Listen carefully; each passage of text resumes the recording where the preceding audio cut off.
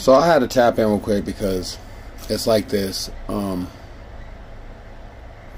13 years ago, I found something that changed my life, you know what I mean? And that thing was fitness and martial arts, you know. And I was always into fitness my whole life, you know what I mean? I liked lifting weights, but I never found it like I did 13 years ago in 2009, 2008, you know.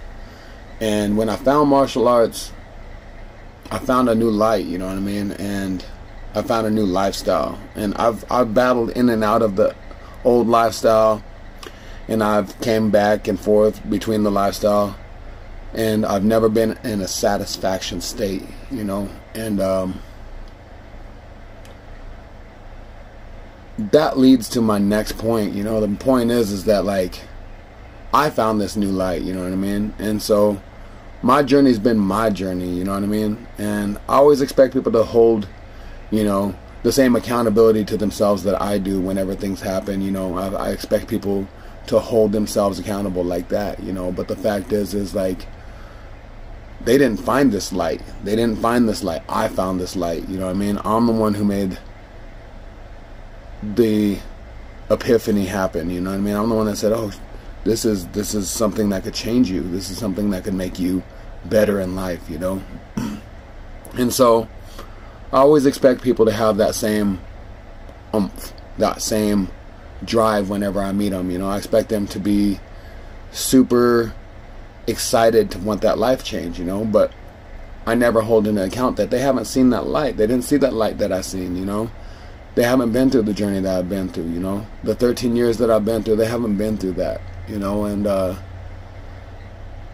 that's where I always end up having a disconnect. You know, I always end up having a disconnect because I feel like they're in the same vibe as me. I feel like they're doing the same thing that I'm doing while I'm doing. I feel like we're on the same flow, the same page, and it always ends up turning out to be the opposite. You know,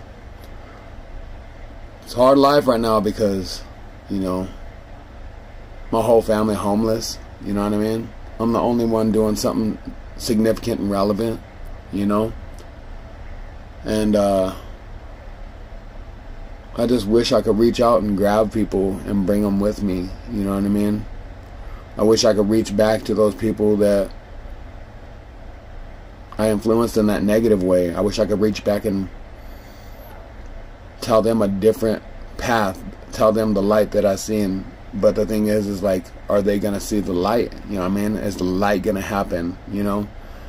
Does that just happen naturally for people or is it just something that's built you know? Like it's weird but i found that light and it changed my life. It changed everything about me. It changed who i really wanted to be and i want to reach out and grab my brother right now and be like look dog come with me. You know what i mean? Look bro. There's just so many situations that i could be like yo you know what I mean? This is an example, this is an example, this is an example, but I just want to let you guys know that if you're going through something and you don't know where to go, look for that positivity. Stop stop dwelling in the in the past and in the negative. Look for that positivity. Be about a better lifestyle. Do better for you, you know what I mean? Do better for the people around you because they love you too. Life's so crazy, man. Life's so short, you know what I mean? It's crazy because two years ago, one of my nephews robbed one of my best friends, you know, and my best friend called me, you know what I mean? And he tells me, he says, uh, says, you know, nephew robbed me, you know what I mean? I say, you know, that's none of my business. And if you weren't doing the shit that you were doing, you would have never been in that situation in the first place. And that goes for him too, you know what I'm saying? But I'm telling this man that at that point, you know. And uh he disowned me, you know what I mean? He was like, You ain't have my back. No, I do have your back, but I'm not going to enable the lifestyle that you're portraying. You know what I mean? I'm not gonna enable that negative lifestyle, you know? And so last year that man was found in a park dead in that same lifestyle, you know what I mean? And all I wanted him to ever do was see that light. And I hope that at some point my brother sees that light, you know what I mean? Because it's a hard life without y'all, you know what I mean? it's hard, you know, man. It's hard because I have to reach back every now and then and and try to forgive myself for the things that I went through with with JD, you know, and forgive myself for some of the things that I went through in my whole life with my kids, you know what I mean, and you know, like I said, the homeboy, you know what I mean, and just all these things that are irreparable. I don't even know if that's a word, bro, but you know. I just want to be better. I just want to do better. I just want y'all to do better with me.